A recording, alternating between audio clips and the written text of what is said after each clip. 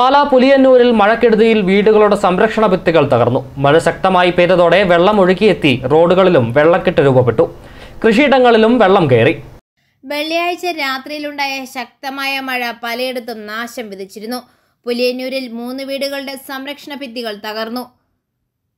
മഴ ശക്തമായി പെയ്തതോടെ വെള്ളം ഒഴുകിയെത്തി റോഡുകളിലും വെള്ളക്കെട്ട് രൂപപ്പെട്ടു. പുലിയന്നൂർ കളപ്പുരയ്ക്കൽ രാമചന്ദ്രൻ മുണ്ടയ്ക്കൽ ബാബു നായർ എന്നിവരുടെ വീടിന്റെ സംരക്ഷണ ഭിത്തികളാണ് തകർന്നത്.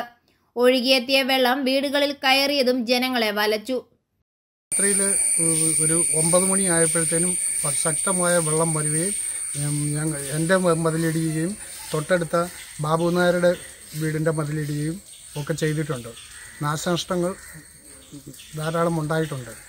നല്ല അതിശക്തമായ ഒത്തൊഴുക്കിലായിരുന്നു വെള്ളം വന്നത്.